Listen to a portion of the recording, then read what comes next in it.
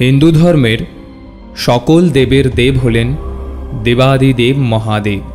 তিনি হলেন মহাশক্তিধর, যার কোনো আদিও নেই, অন্তও নেই। হিন্দু পুরাণ অনুসারে শিব হলেন বিশ্ব ব্রহ্মাণ্ডের সৃষ্টির মূল আধার, অথচ তিনি অল্প পূজাতেই সন্তুষ্ট হন। সামান্য ফুল, বেলপাতা আর গঙ্গাজল দিলেই মহাদেব প্রসন্ন হন। ভগবান শিবকে ভক্তরা মহাদেব, আশুতোষ, ভোলেনাথ, বৈদ্যনাথ, বিশ্বনাথ ইত্যাদি নামে সম্বোধন করে থাকেন। শিব পুজোর জন্য শ্রাবণ মাস ফলদায়ক বলেও মনে করা হয়। শিব ভক্তদের আস্থা অনুযায়ী শ্রাবণ মাসে শিব পূজা করলে ভগবান শিবের কৃপায় যে কোনো সাংসারিক সমস্যা দূর হয়ে যায়। এখন প্রশ্ন হলো, কি কি নিয়ম মেনে মহাদেবের আরাধনা করলে এই সব উপকার মিলতে পারে? শ্রাবণ মাসের সোমবারগুলি কীভাবে পালন করা উচিত এবং এই শ্রাবণ মাসের চারটি সোমবারের মাহাত্ম কি? তো আসুন বিস্তারিত জেনে নেওয়া যাক। Welcome to bunch of facts bunch of ফ্যাক্টসে আপনাদের সবাইকে স্বাগত। শ্রাবণ মাস ভগবান শিবের মাস। শাস্ত্রমতে শ্রাবণ মাসের সোমবারের প্রতি দিনগুলি শিব ভক্তদের কাছে একটি গুরুত্বপূর্ণ দিন। প্রতি বছর শ্রাবণ মাসে সোমবারের দিনগুলিতে শিব ভক্তরা শিবলিঙ্গে জল অভিষেকের জন্য গঙ্গা নদী থেকে ঘটে করে জল ভরে নিয়ে আসেন। তারপর ভক্তগণ পায়ে হেঁটে বাঁক কাঁধে নিয়ে যাত্রা বের করেন এবং সেই গঙ্গা জলকে মন্দিরের শিবলিঙ্গে অভিষেক করেন। আবার কেউ কেউ বাড়িতেই উপবাস রেখে শিবলিঙ্গে জল অভিষেক করেন। বহু ভক্তগণ শ্রাবণ মাসের প্রতিটি সোমবার বাড়িতে অথবা মন্দিরে পূজা অর্চনা করেন। এবং কেউ কেউ সোমবারে শিবের ব্রত পালন করেন। মনে করা হয়, শ্রাবণ মাসের সোমবারগুলিতে শিবের ব্রত পাঠ করলে সমস্ত প্রকার মনস্কামনা পূর্ণ হয়। এছাড়াও, শ্রাবণ মাসের শিব পুজোর বিশেষ মাহাত্ম রয়েছে। চলুন জেনে নেওয়া যাক, শ্রাবণ মাসের শিব পূজার মাহাত্ম কী? শাস্ত্রমতে শ্রাবণ মাস থেকে ষোলোটি সোমবারের পুজো করলে বাবা ভোলেনাথ সন্তুষ্ট হন এবং তার কৃপায় যশ, খ্যাতি, সৌভাগ্য ও সুখ শান্তি প্রাপ্ত হয়। যারা সারা বছর মহাদেবের পূজা করতে পারেন না, তারা যদি শ্রাবণ মাসের প্রতিটি সোমবার মহাদেবের পূজা করতে পারেন, তাহলে সর্বশক্তিমান শিব অতি সহজেই প্রসন্ন হন। আর একবার মহাদেবের কারও উপর খুশি হলে তার ভাগ্য বদলে যেতে কখনোই সময় লাগে না। এবার জেনে নেওয়া যাক, শ্রাবণ শব্দের উৎস কোথা থেকে হয়েছে। শ্রাবণ শব্দের উৎসে রয়েছে শ্রবণ। এই মাস যাবতীয় শুভ কথা শ্রবণের সময়। এই মাসে প্রতিদিন স্নানের পরেই শিবস্তোত্র পাঠ করলে শিব ভক্তরা ভগবান মহাদেবের কৃপা লাভ করেন এবং বলা হয়, শ্রাবণ মাস রুদ্রাক্ষ ধারণের জন্য প্রশস্ত সময়। সেই কারণে শিবলিঙ্গে শ্রাবণ মাসে দুধ এবং জল ঢেলে পুজো করেন ভক্তরা। সিংহভাগ মানুষ পরিবারের সুখ শান্তি বজায় রাখতে শ্রাবণ মাসে চার সোমবার শিবের পুজো করে থাকেন। কিন্তু বেশিরভাগই ঠিক ঠিক নিয়ম মেনে দেবের আরাধনা বা পুজো করেন না। তাই সে কথা মাথায় রেখেই সমস্ত নিয়মগুলি সম্পর্কে জানাতে চলেছে। আজ যদি এই নিয়মগুলি মেনে পূজা করতে পারেন, তাহলে মহাদেব এতটাই প্রসন্ন হবেন এবং উপকার মিলতে সময় লাগবে না। প্রসঙ্গত, হিন্দু শাস্ত্র মতে, শ্রাবণ মাসে শিবের ক্ষমতা প্রায় একশো আট গুণ বেড়ে যায়। তাই তো এই সময় উপোস এবং বিশেষ পুজোর আয়োজন করার পরামর্শ দেয়া হয়ে থাকে। কারণ এই সময়ে সর্বশক্তিমানকে একবার প্রসন্ন করতে পারলে মনের ছোট থেকে বড় সমস্ত ধরনের ইচ্ছা পূরণ হয়ে যায় এবং জীবনে চলার পথে চলতে থাকা যদি কোনো বাধাও আসে, সেগুলোও সেরে যেতে সময় লাগে না। সাথে মিলে আরও অনেক উপকার।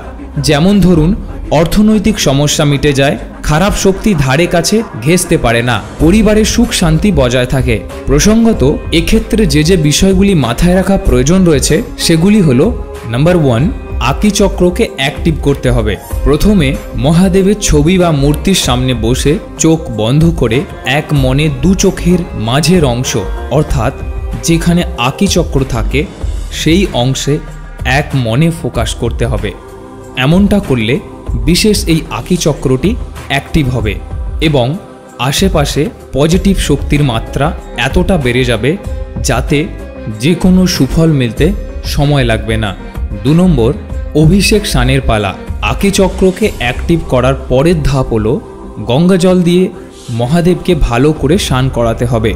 আর যদি আপনার ঠাকুর ঘরে শিব ঠাকুরের মূর্তির পরিবর্তে ছবি থাকে তাহলে পরিষ্কার একটা কাপড় গঙ্গা জলে চুবিয়ে সেই কাপড় দিয়ে ছবিটা ভালো করে পরিষ্কার করে নিতে হবে। তিন নম্বর, পঞ্চমৃত। এবার দুধ, দই, ঘি এবং মধু মিশিয়ে পঞ্চমৃত বানিয়ে ফেলুন। তবে এক্ষেত্রে একটি বিষয় সর্বদা মাথায় রাখতে হবে, তা হলো এই প্রসাদটি বানানোর সময় ভুলেও তাতে চিনি দেবেন না। চার নম্বর, কাপড়। এমনটা বিশ্বাস করা হয় যে মহাদেবের আরাধনা করার সময় যদি নতুন কোনো কাপড় তার সামনে রেখে পুজো শুরু করা হয়, তাহলে মহাদেব প্রসন্ন হন। তবে আরেকটি বিষয়, যদি সাদা রঙের সুতো মহাদেবের সামনে রেখে পুজো করেন এবং সেটা যদি হাতে পড়তে পারেন, তাহলে যে কোনো বিপদ ঘটার আশঙ্কা একবারে কমে যাবে। পাঁচ নম্বর, ফুল, চন্দন এবং সুগন্ধি। মহাদেবের সারা শরীরে ভালো করে চন্দন লেপে তার সামনে ফুল পরিবেশন করবেন এবং অল্প করে সুগন্ধি ছড়িয়ে দেবেন, কারণ এতে খারাপ শক্তির প্রভাব কমতে থাকে, সাথে বাড়তে থাকে শুভ শক্তির মাত্রা, ফলে গৃহস্থে পবিত্রের ছোঁয়া লেগে থাকবে। ছ নম্বর ধূপ ধুনো জ্বালান। মহাদেবকে সাজানোর পর ধূপ ধুনো জ্বালিয়ে মনে মনে কম করে একশো বার ওম নমঃ শিবায়। এই মন্ত্রটি জপ করা শুরু করুন। ইচ্ছা হলে ওম রুদ্রায় নমঃ। এই মন্ত্রটিও জপ করতে পারেন। সবশেষে মন্ত্র উচ্চারণ করে মহাদেবের আরাধনা করার পর আরতি করে শেষ করতে হবে পুজো। এরপর সাতবার শিব ঠাকুরের ছবি অথবা মূর্তিকে প্রদক্ষিণ করতে করতে মনের ইচ্ছা জানাতেই পারেন। এই ছিল মহাদেবকে কীভাবে পুজো করবেন এবং সন্তুষ্ট করবেন। আপনি যদি এই নিয়মগুলো মানার পাশাপাশি আরও কিছু নিয়ম মেনে চলতে পারেন, তাহলে আরও একাধিক উপকার পাওয়া যায়, যেটা আপনি জীবনে কখনো কল্পনাই করতে পারবেন না। যেমন ধরুন, প্রথমত, আয়ুরেখা যদি ছোট হয়, তাহলে প্রতি সোমবার বিশেষত শ্রাবণ মাস চলাকালীন দুর্বা ঘাস দিয়ে মহাদেবের আরাধনা করলে দারুণ ফল পেতে পারেন। এক্ষেত্রে আয়ু তো বাড়েই, সেই সঙ্গে রোগ ব্যাধিও দূরে পালায়। প্রসঙ্গত, এমনটাও বিশ্বাস করা হয় যে দুর্বাঘাস দিয়ে শিব ঠাকুরের পুজো করলে খারাপ সময় কেটে যেতেও সময় লাগে না। দু নম্বর, শত চেষ্টা করেও বাবা মা হওয়ার স্বপ্ন পূরণ হচ্ছে না। কোনো চিন্তা নেই। প্রতি সোমবার ধূত্র ফুল নিবেদন করুন এবং মহাদেবের পুজো করুন। দেখবেন আপনার ইচ্ছা পূর্ণ হতে বেশি সময় লাগবে না। তিন নম্বর, কর্মক্ষেত্রে চরম সফলতার স্বাদ পেতে মহাদেবের আরাধনা করার সময় সাদা চন্দন, শিব ঠাকুরের ছবি অথবা মূর্তিতে লাগাতে ভুলবেন না। চার নম্বর, জীবনকে আনন্দে ভরিয়ে তুলতে সূর্যাস্তের পর মহাদেবকে জল এবং দুধ পরিবেশন করুন। দেখবেন উপকার আপনি পাবেন। শাস্ত্রমতে ধুতরা ফুলে সন্তুষ্ট হন মহাদেব, তাই শিব পূজায় এই ফুল ব্যবহার করতেই পারেন। শিবের আরাধনায় সিঁদুর, হলুদ রং, হলুদ ফুল এবং হলুদ সামগ্রী কখনোই নিবেদন করা উচিত নয়। কারণ মহাদেব হলেন যোগী। এই কারণেই শিব ঠাকুরের পূজা করার সময় হলুদ এবং সিঁদুর নিবেদন করতে নেই। তাই আশা করি এই ভিডিও থেকে আপনারা সমৃদ্ধ হয়েছেন। এছাড়াও এই ব্যাপারে আমাদের কিছু মতামত থাকলে অবশ্যই আমাদের কমেন্ট করে জানাতে পারেন। ভালো থাকুন, সুস্থ থাকুন। ঈশ্বর আপনার মঙ্গল করুক। আজ এখানেই শেষ করলাম। আবার দেখা হচ্ছে পরের ভিডিওতে। যদি ভালো লেগে থাকে, তাহলে please like, share and comment করবেন। আর এই ধরনের নিত্য নতুন ভিডিও পেতে আমাদের পাশে থাকা বেল আইকনটি প্রেস করবেন।